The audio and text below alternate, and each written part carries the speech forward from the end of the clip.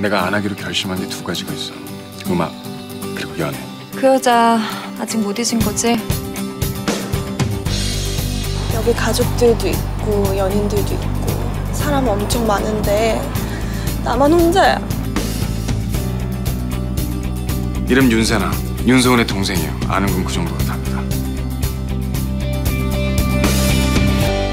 오랜만이다.